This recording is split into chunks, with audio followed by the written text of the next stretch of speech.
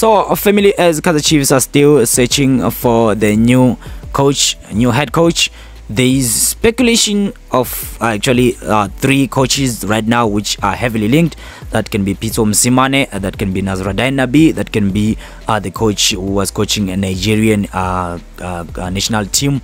So right now I'm just here for Nasreddine Nabi. As guys, we know Nabi is he once went to Kaizer Chiefs and try his lucky and then they couldn't uh, came to an agreement. Now Nabi is coaching one of uh, the Moroccan uh, big team. We're talking about S Far Rabbit, and right now he's in a good condition with them. He's also doing good there. So, do you think Kazi Chiefs, I mean Nabi, will allow uh, or agree to come back and negotiate with Kazi Chiefs, or else? He will never allow that according to the reports which have been circulating that Kaizer Chiefs they are on talks with Nasreddine Nabi. So with my one understanding guys I think it will come with uh, too much risk and also I think he will demand more that maybe uh, trust would be the problem over there because he once came and they refused to sign him.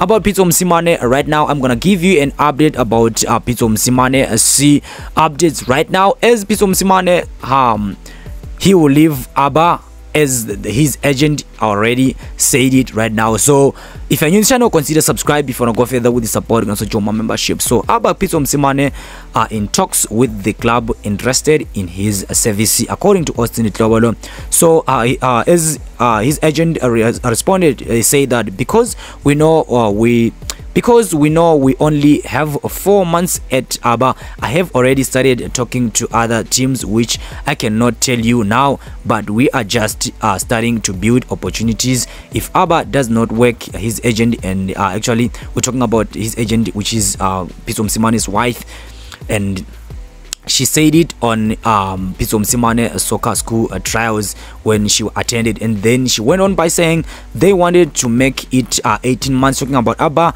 uh, contract but uh, for us we refused uh, it's just we don't want to go for 18 months. So actually i think there is somewhere somehow they are promised because his agent can say that um, they are already negotiating with other uh, clubs which are interested uh, in Pitso Mosimane. So with your understanding guys, don't you think that's that is uh, Kaizer Chiefs which they are um, communicating and also uh, discussing this issue. Because we know Pitso Mosimane um, if you still remember my uh, the post of Kaizer Chiefs I think it, I can repeat it guys. If you still remember the post of uh, Kaizer Chiefs that was lately uh, last year when Kaizer Chiefs went to say all these rumors which are circulating about Pitso Mosimane we approached Kaizer Chiefs approached Pitso Mosimane and Pitso Mosimane said no they are not true. That is not true. So which means Madala side there is they are speaking about the opportunities of bringing Pitso Mosimane when they say uh Pitso Mosimane never say no to Kaizer Chiefs. So those are rumors. So which means Pitso Mosimane guys is on his way coming because with my understanding with my understanding if they are going to allow him to do what he wished to do at Kaizer Chiefs he might be the head coach of Kaizer Chiefs next season. So uh, actually, as she went on by saying, so if we then agree that we will help them for the next uh, four months, and if there is interest and the uh, coach saves them from relegation, and we agree on the negotiation of the second part of the deal, yes, we don't agree, then he moves to another opportunities so you see guys as we know Pitso Mosimane have been betrayed uh, on the same league if you remember when he saved the team from relegation when we saw even our uh, players were striking at the end of the day after winning at the cup and then uh, because of Pitso Mosimane they didn't want to renew his contract. And he was also um, um, uh, earlier this year he also um, uh, win the case uh, on FIFA. And he was also um, said to be paid more than 23 million rand